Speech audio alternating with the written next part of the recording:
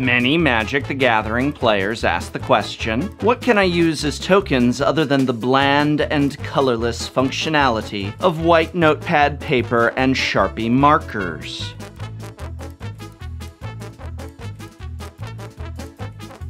Well, you can use the official tokens that are randomly seeded within booster packs, but for many players, this is the equivalent to sticking to the default color scheme on your desktop, which oftentimes feels like no color at all.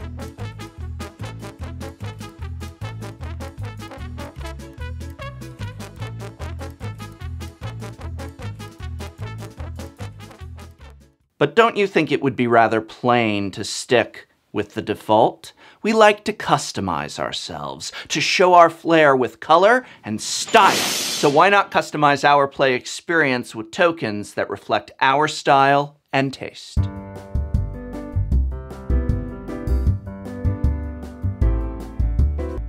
Let's begin with the tokens of Cardamajigs, an online site which offers their own line of uniquely styled tokens, as well as selections of other artists. I've been a big fan of Cardamajigs for a long time, mostly because their art and style looks so different and distinct from that of typical MTG art. The tokens are cartoonish, bright, happy, and silly, all qualities I personally enjoy. To me, a Cardamajig token says fun is about to happen. And I especially like that not everything in Magic the Gathering now needs to be dark and gritty. One of the great things about Cardamajig's online site is also that you can buy individual tokens. You don't have to buy them in giant packs. So if you just want one token, if you just want 10 of a single design of token, this can all be done. The tokens are designed specifically for Magic the Gathering and the type of tokens that your creatures and spells might create. These bright and cheery illustrations are available on playmats as well. I'm a big fan of the Merfolk playmat, Dull Surprise.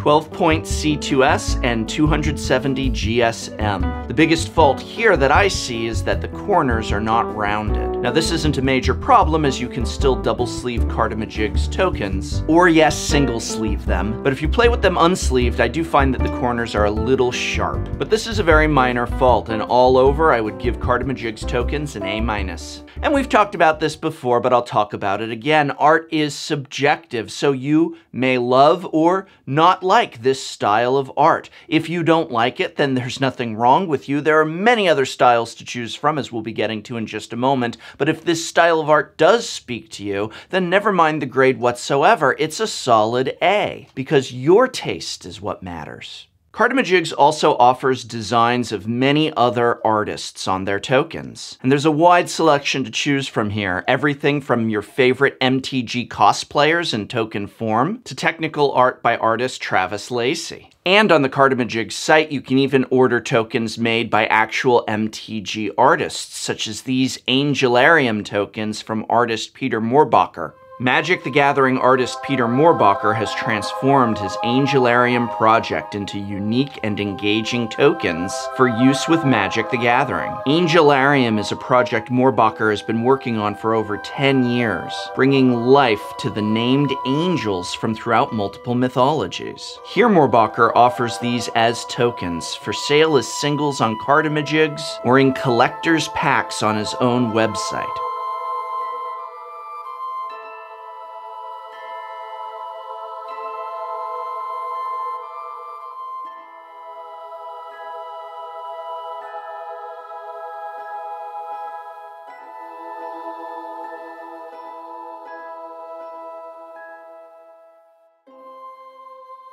This is such an interesting high art project, taking all the named angels from throughout our collective mythologies and rendering them in illustrations is just very, very fascinating, and that's what Mohrbacher is doing here. Just some of the artwork that Mohrbacher is responsible for includes Animar, Soul of Elements, Brimaz, King of Oreskos, Gavony Township, Grimgrin, Corpseborn, Mogis, God of Slaughter, and of course Nissa Worldwaker. Oh, and we mustn't forget Tibalt the Fiend-Blooded. Don't blame Mohrbacher for what the card does or what it doesn't do. But let us praise Mohrbacher instead for giving Tibalt his sense of haute couture. I, I like how Tibalt dresses. Magic the Gathering artist Jason Engel has also worked on Angelarium, and his token designs are available as well, either on Cardamajigs or as part of packs on Mohrbacher's site. And of course, Peter Mohrbacher also offers playmats and prints of his Angelarium designs, and of course, prints of his Magic the Gathering illustrated cards.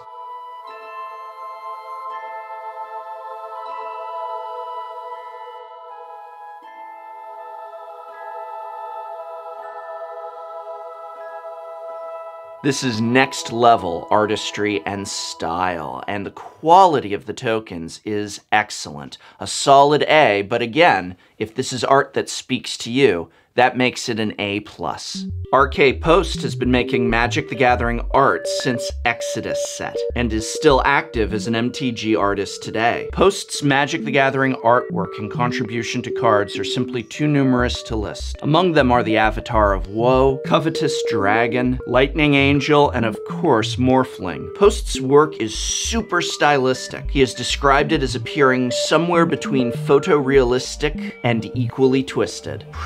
Pre-Raphaelite with gothic sensibility. As the art direction of Magic the Gathering has trended more towards homogeny in recent sets, I absolutely adore seeing an artist like Post create work without restrictive oversight. Personally, I'm a huge fan of the gangster-like goblin tokens for use with my Krenko Mob Boss Commander deck, but there's so much more here to love. And Post's website offers every conceivable configuration, whether you just want to buy singles, what a relief, or if you want to buy packs sorted by creature type, or packs sorted by newness to oldness, or whatever style you desire, or even if you want to commission custom ones, Post has it all.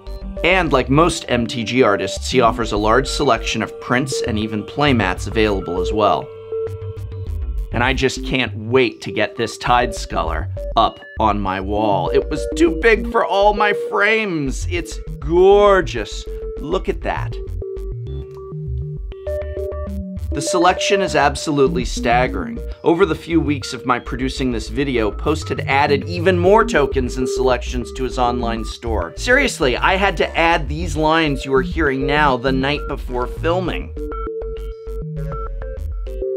I love Post's work so much I'd be tempted to just give him the straight A plus right off the bat, but again, that's factoring in my own personal taste and adoration for his style. The quality of his tokens, his mats, his prints is all a solid A, but if you are like me and you love Post's style, then yes, this is absolutely an A plus, and you may want to add some or all of it to your collection. Magic the Gathering artist Johan Voss uses Patreon as a way to create and send tokens and other artwork to his supporters. Voss's magic cards include Angelic Destiny, Arachnogenesis, Blood Artist, the scarf-wearing kitty art of Daybreak Coronet, I love that one, and the wildly popular Gift of Orzhova to name just a few. Voss's tokens are flawless.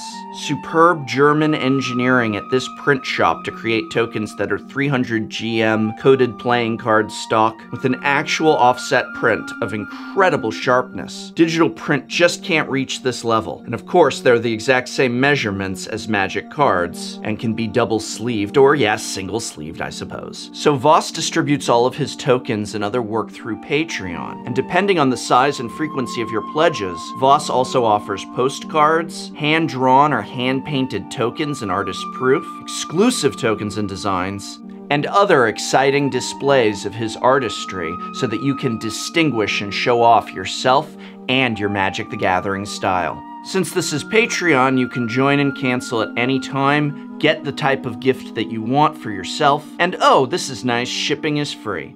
I also really like the type of interaction Voss offers between himself and his patrons. He's frequently asking those that support him on Patreon what types of tokens and styles and other types of offerings they want to see next. Highly communicative, highly personable, and yes, this is another A or A plus if you happen to love Voss's style, and how can you not? So whether it's the bright, cheery style of Cardamajigs, the deeply serene artwork of Peter Mohrbacher and Jason Engel, the stylistically twisted illustrations of R.K. Post, or the rich and vibrant artwork of Johann Voss, there's surely a style of art out there that speaks to you. And there's no wrong answer here because we are talking about yourself, your tastes and your sensibilities.